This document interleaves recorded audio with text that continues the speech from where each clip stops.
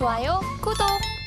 네, 이렇게 외국인의 매수세 좀 수급의 요인에 대해서 좀 잡아주셨는데요. 저희 잠깐 이야기 나눈, 나온 것처럼 우리 반도체 업종 혹은 2차 네. 전지 이 외에 3분기 실적 발표가 되었던 것도 10월에 좀 이슈였던 것 같습니다. 네.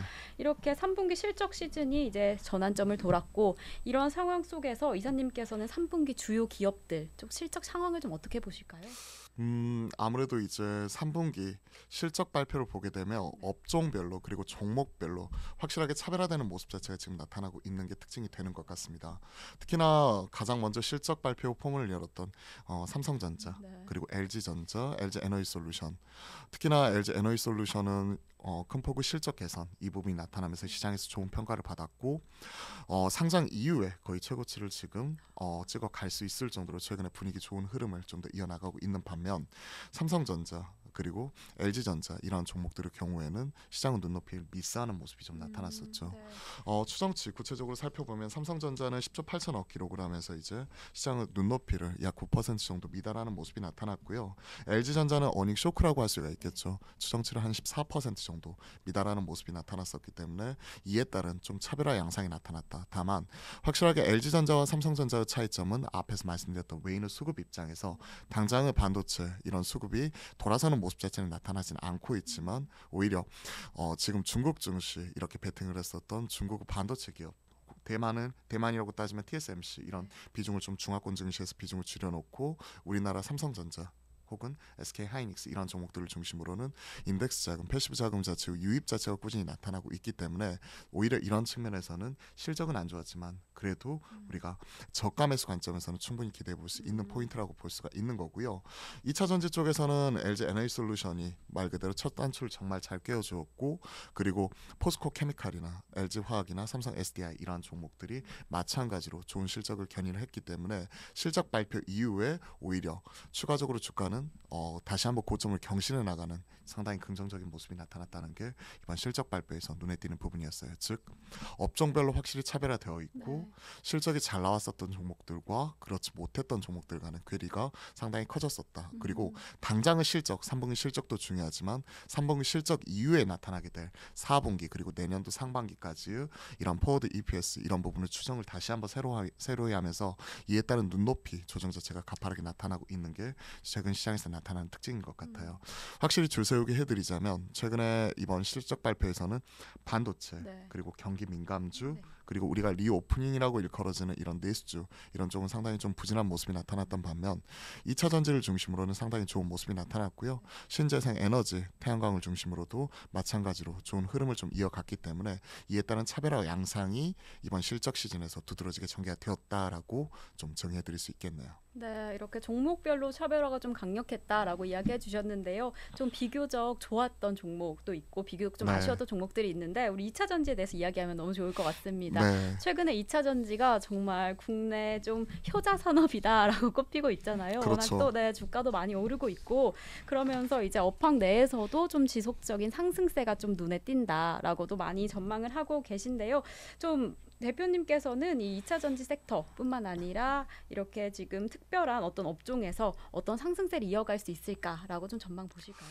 이런 흐름은 좀 더 이어질 수 있을 아, 것 같아요. 네. 특히나 외인의 수급이 지금 현재 10월 이후에 계속 지속이 되고 있기 때문에 네. 그러한 관점에서 외인들의 눈높이를 충족시켜 줄 수 있는 몇 안 되는 음. 업종이 바로 2차 전지예요. 네. 즉 현 시점에서 실적 그만큼 양극재를 중심으로 그리고 배터리 셀 업체를 중심으로 실적 개선세가 두드러지게 나타나고 있고 네. 그리고 이러한 흐름이 올해뿐만이 아니라 내년 이후에도 좀 더 지속이 될 수 있다는 측면에서 valuation에 대한 부담은 있지만 음. 이에 따른 다시 한번 바스켓을 채워나갈 수 있는 모습이 특히 외인들을 중심으로는 지금 계속해서 진행이 되고 있다는 것이죠. 네. 특히나 이제 이번에 2차 전지 실적 이런 부분을 살펴보게 된다면 네. 특히 LG 화학 이 저는 상당히 눈에 띄었거든요. 네. 특히 2분기 실적에서도 확실히 첨단 소재 사업부에서 음. 확실히 긍정적인 모습이 나타나면서 본업 단인 이런 화학 산업의 이런 peak out에 대한 우려 그리고 이쪽의 수요 부진 뭐 이런 부분까지도 계속 이어지면서 이쪽의 감익에도 불구하고 첨단 소재 사업부가 확실하게 탄탄하게 치고 올라오는 모습이 나타나면서 긍정적으로 나타났고요. 특히나 이제 LG 화학이 그동안에 약점으로 지목받았던 게 두 두 가지였죠. 네. 첫 번째 화학 쪽에서 이제 돈 다 벌고 네. 이제 어느 정도 이익이 꺾이는 것 아니냐. 네. 그리고 두 번째는 어 안고 빠진 찐빵 아니냐 즉 LG 에너지 솔루션에 음. 따른 이런 지주사 네. 로서 할인 뭐 이런 부분을 얘기를 했었다면 이제 어, LG 에너지 솔루션과 확실히 차별화되는 양상이 음. LG 화학에서 나타나는 것 네. 같아요. 특히 양극재 이쪽을 음. 중심으로 네. 대규모 캐파 확장이 나타나고 있고 전고체 음. 그리고 이제 뭐 음극재 어, 분리막 음. 그리고 폐배터리 재활용에 이르기까지 네. 가장 수직 계열화가 지금 어, 잘 되어 있는 대기업 음. 중에 하나로서 LG 화학이 꼽히고 있고요. 그리고 이제 뭐 이런 중견 기업 단에서는 에코프로 BM, 에코프로 음. 그룹즈가 네. 이쪽을 가장 잘하고 있잖아요.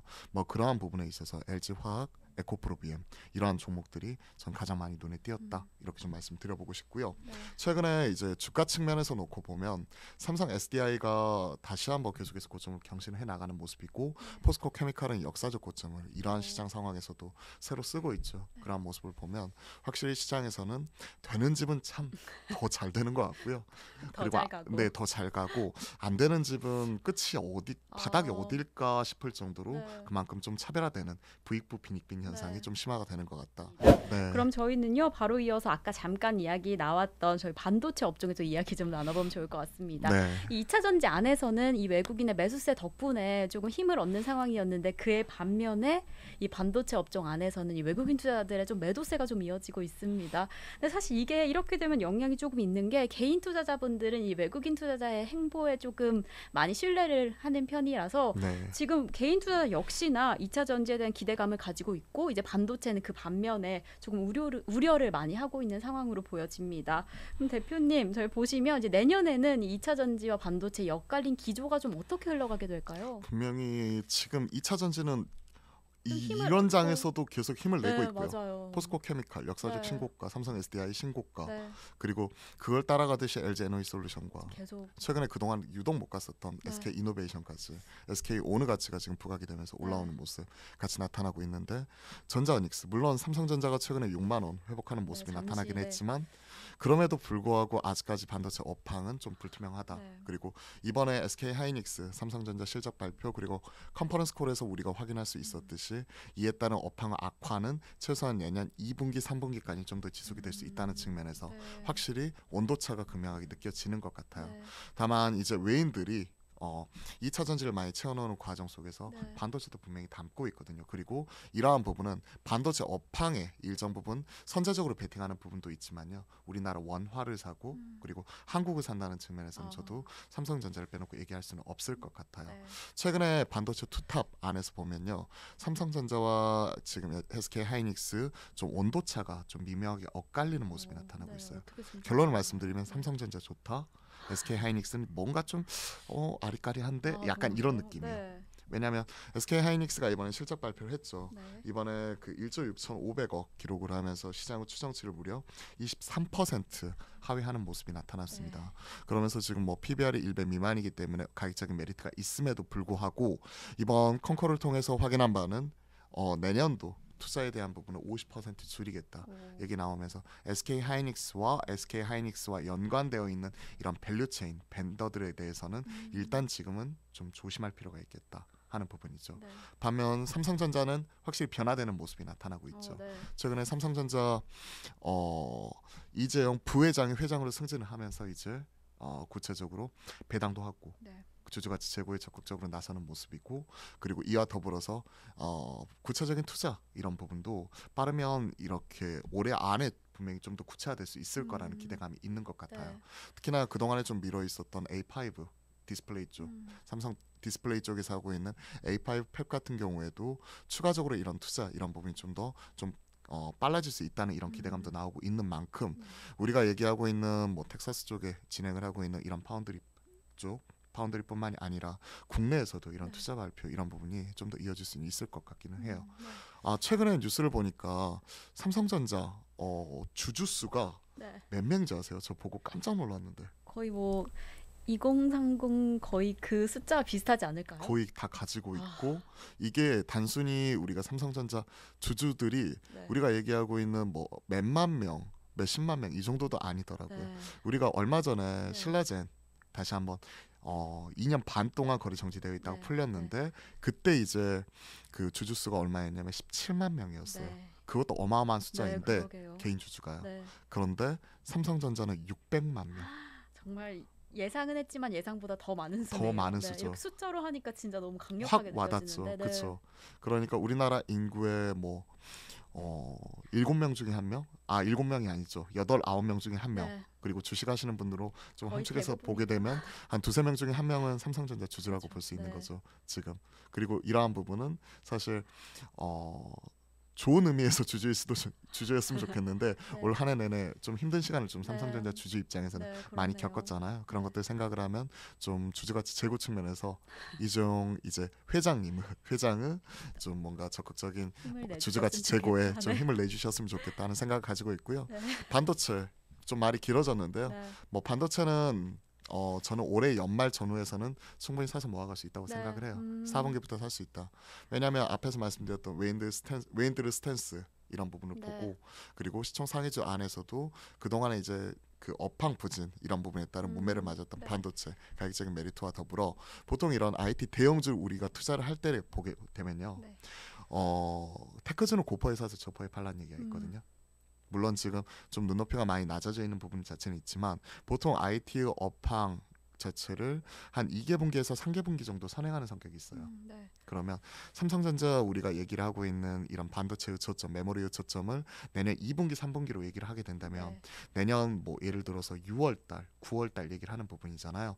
2개 분기에서 3개 분기 정도 앞으로 당겨 보면 그 시점 자체가 올해 연말 오. 이 정도가 될 수가 네. 있는 거잖아요. 음. 그러면 지금 11월이니까 네. 이제 뭐 12월, 뭐 1월 이 정도 되게 되면 네. 분명히 저는 이 시점부터는 어, 충분히 우리가 적극적으로 좀 베팅을 해볼 수 오, 있는 시기가 네. 되는 것 같아. 좀- 네. 그리고 이번 2분기 실적에서도 우리가 확인했듯이 특히나 디램 가격, 랜드 가격 이런 하락폭이 워낙 크게 나타났었잖아요. 그러한 측면이 지금 거의 뭐 한 18%뭐 DRAMeXchange에서 우리가 확인했듯이 뭐 spot 가격 자체가 18%씩 빠지고 이러는데 이러한 모습이 18%가 아니라 뭐 예를 들어서 뭐 10%, 뭐 7, 8%이 네. 정도까지만 좀 하락폭 자체를 줄여나가면서 이제 바닥을 탈출하는 신호가 좀만 나타나더라도 네. 삼성전자 어, 이 가격은 아닌 것 같아요. 아, SK 하이닉스는 조금 전 약간은 네 온도차가 분명히 온도차가 있으니까. 분명히 있으니까 꼭 한 종목만 사야 된다면 저는 닉스보다는 네. 삼성전자를 사자. 아, 네. 이렇게 네, 지금 말씀드릴게요. 2차 전지보다는 조금 속도가 느리지만 분명히 우리 지금 반도체 네. 움직이고 있고 그 시점을 보면 우리 연말부터 연초까지 조금 담아보면 어떨까라는 네. 이야기까지 좀 해주셨습니다. 좋아요, 구독.